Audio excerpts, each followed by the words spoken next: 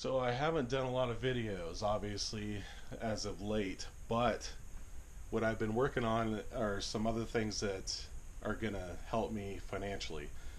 And now that I have this garage pretty much finished, I still have more things, but it's a it's a foundation to start with. It's been a long battle. It's been really hard to get to this point.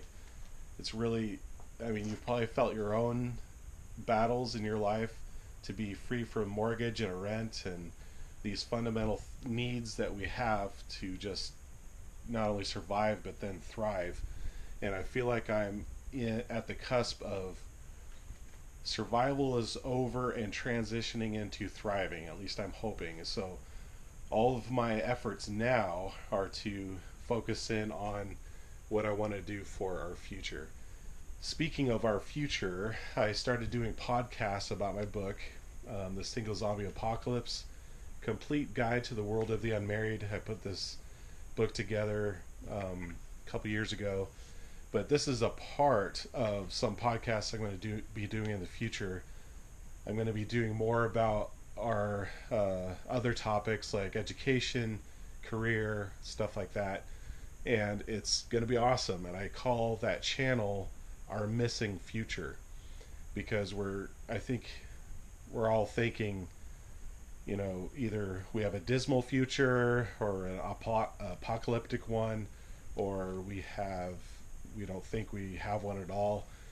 And there's a missing future. It's the one with, uh, for the people who have faith in God, have a relationship with Jesus Christ. There is a bright and extremely exciting future. And um, and he has promised that. So we're stepping into the millennium. Where that's where we could we could start building our future during that time, dur- during this time, and start building uh, for that time. So I'm going to be writing more books actually. So we're going to be getting into more podcasts with that. And so just go to that if you want to hear more of what I'm talking about here if you're single and you're wondering why, you know, maybe this there's some answers in here. Um, this is basically just sharing. You know, some people are wondering why they can't make their relationships last, or you know why they're not finding the relationship they're looking for.